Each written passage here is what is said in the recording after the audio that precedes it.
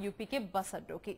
UP के बस अड्डे अब हाईटेक होंगे, बस स्टेशनों पर वाईफाई की सुविधा मिलेगी। सीएम योगी ने बस सुविधा बेहतर करने पर ज़ोर दिया है। बसों की टाइमिंग पता लगाने के लिए ऐप सुविधा शुरू होगी। ट्रैक माई बस ऐप की जल्द ही शुरुआत होगी।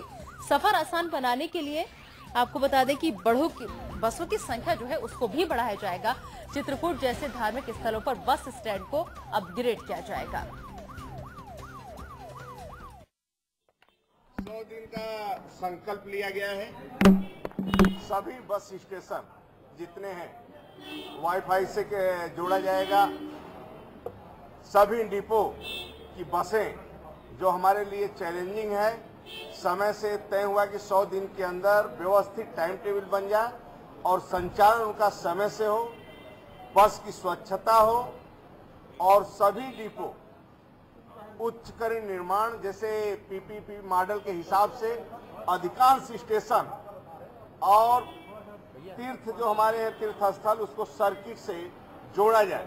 काशी है, अयोध्या, चित्रकूट, मथुरा, वृंदावन गोरखपुर, इस प्रकार के जितने भी तीर्थ स्थल है स्थल है, एक सर्किट बनाकर इसको जोड़ा जाए।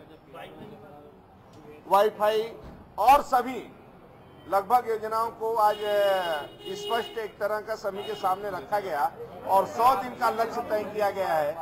और एक ही लक्ष्य है कि गाँव गरीब, किसान तक, यानी गरीब इंसान तक बस की सुविधा कैसे उपलब्ध करवाया जाए और समय से करवाया जाए।